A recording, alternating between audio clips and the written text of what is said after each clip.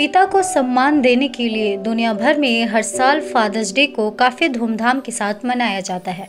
कुछ देश इस दिन को जून महीने के तीसरे रविवार को मनाते हैं, जबकि बहुत देशों में ये दिन अलग अलग तारीखों में मनाया जाता है।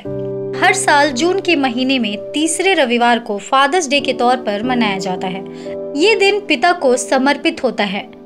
पहले सिर्फ़ विदेशों में ही इस दिन को मनाया जाता था।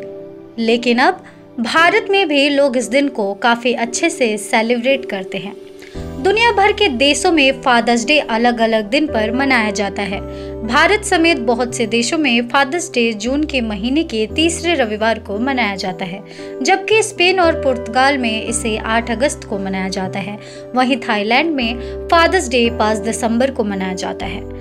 माना जाता है कि फादर्स डे सबसे पहले पश्चिम वर्जीनिया के फेयरमोंट में 19 जून 1910 को मनाया गया था।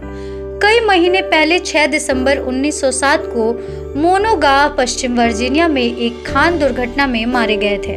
2010 में 210 पिताओं के सम्मान में इस विशेष दिवस का आयोजन लग्रेस गोल्डन क्लेट ने किया था।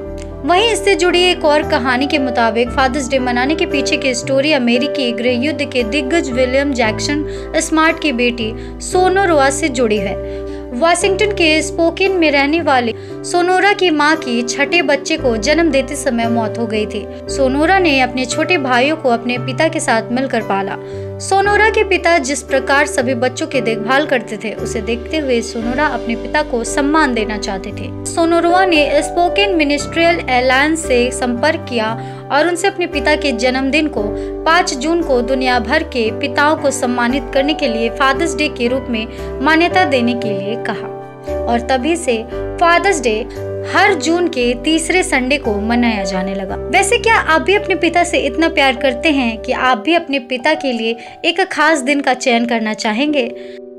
अगर आप भी अपने पिता से बहुत प्यार करते हैं और आपके लिए भी आपके पिता आपके ज़िंदगी के हीरो हैं तो इस वीडियो पे I love my father and happy father's day comment करके ज़रूर लिखें और इस वीडियो को लाइक करें, ज़्यादा से ज़्यादा शेयर करें और हमारे चैनल को सब्सक्राइब करें।